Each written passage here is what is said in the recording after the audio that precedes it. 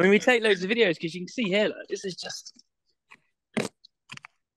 Yeah. gone. Arsenic has been banned since 2006 for the use in the treatment of timber.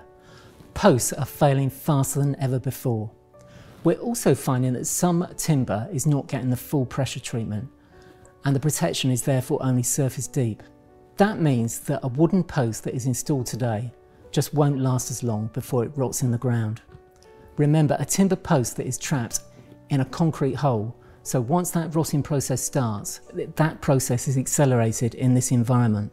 Here's an example of a post that's come into the lab today of a post that's failed after only six years. Um, we very rarely now fit timber purely because you, all the manner of problems that come along with it. It's not great for the environment. It's not recyclable, and it's it's not going to last. It's um, the timber doesn't feel it. Doesn't have any density. It's very lightweight. I don't really see things lasting much more than sort of six or seven years.